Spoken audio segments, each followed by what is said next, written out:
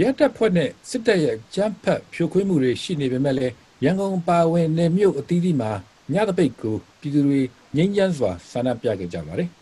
။ဆန္ဒပြចောင်းသားတွေကိုအိမ်မှာဖွက်ထားတဲ့မျိုးသမီးရဲ့ဥကောင်းကိုတနက်နဲ့ပြစ်ခတ်ခဲ့ပြီးစစ်တပ်ကသူ့ကိုခေါ်ယူသွားပြီးမိသားစုနဲ့အဆက်အသွယ်မရသေးဘူးလို့သိရပါတယ်။မန္တလေးမြို့စိန်ပန်းရဲ့40လမ်းမှာ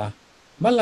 17ရက်မနက်ပိုင်းကတပိတ်တပ်ပေါင်းစု ထိုင်တပိတ်ဖြိုခွဲခံလိုက်ရပြီးတပိတ်မှာပါတဲ့လူငယ်ចောင်းသား30လောက်ဟာဒေါ်ပြုံးရဲ့အိမ်မှာခဏဝင်ပုန်းခဲ့ပါတယ်။အဲ့ဒီနောက်စစ်သားတွေရဲတွေရောက်လာပြီးပုံနေသူတွေထုတ်ပေးဖို့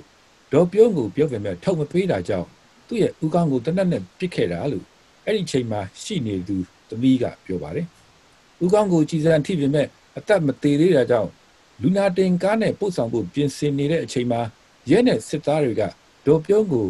စစ်ဆေးရုံမှာကုသမယ်ဆိုပြီးလာရောက်တောင်းဆိုသွားတာဖြစ်ပါတယ်။အခုခါဒေါ်ပြုံးဘယ်နေရာမှာရှိနေတယ်ဆိုတာကိုမိသားစုဝင်တွေမသိသလို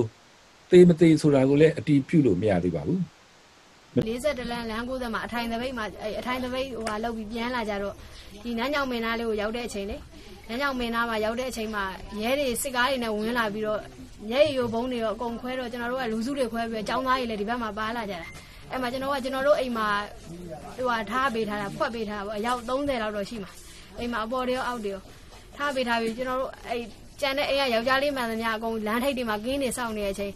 ဟိုဟာတောင်ထဲကနေပြီးတော့ဝင်းနေကနေကြောဝင်လာပြီးတော့အမေအိမ်မှာအမေတယောက်ပဲရှိတာအဲ့မှာအမေကိုအဲ့အမေရဲ့အကြောင်းသားတို့မလုပ်ပါနဲ့မလုပ်ကြပါနဲ့ဆိုအဲ့လိုတားတဲ့အချိန်အမေကိုသူတို့ကာဝယ်ရမလားဆိုအမေကိုအရင်တနက်နဲ့ပြည့်ပြလိုက်တာ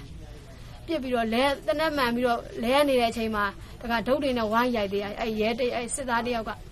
ခင်ဗျာသူတို့ကာဝယ်နေတာလားဗာအဲ့ဝိုင်းရိုက်ပြီးတော့ကျွန်တော်တို့မှအိမ်မွားနေမစင်းရဘူးအိမ်မော်မှာပုံနေကြအိမ်မော်ကိုလည်းကြည်နေပြစ်သွားအိမ်မော်ကနေစင်းမလာရင်အကုန်လုံးအသေးပြစ်တမာတွေကျိန်းမောင်းပြီးတော့အိမ်မော်အဲ့မှာចောင်းသားလေးတွေကဒီအဲ့ခုနှစ်ယောက်လောက်ကဆင်းပြီးတော့အဖမ်းပြသွားသူတို့အိမ်ရှင်လဲမှန်သွားတော့သူတို့လဲဖမ်းပြီးဆင်းပြတော့ចောင်းသားတွေကအန်တီကိုမလုပ်ကြပါနဲ့ဆိုတော့ចောင်းသားတွေကိုလည်းဝိုင်းရိုက်သွားတယ် ရိုက်ပြီးတော့ကျွန်တော်တို့လည်းမစင်ရဘူးကျွန်တော်လည်းပုံနေရတယ်အကုန်လုံးအကုန်ထွက်လာတယ်အောက်ကိုလည်းဖြက်စီးသွားတယ်အိမ်တွေရောလေကားတွေလည်းရိုက်ချိုးထင်းရတွေလည်းရိုက်ချိုးသွားအိမ်ပေါ်လည်းကြီးတွေပြစ်သွားចောင်းသားတွေအဲ့မှာနောက်ထပ်သူတို့လည်းပြီးလို့ပြန်သွားတော့ဟိုကလောက်တော့၈ယောက်လောက်ကတော့လွတ်လိုက်တယ်၈ယောက်လောက်ကတော့လွတ်လိုက်တယ်အဲ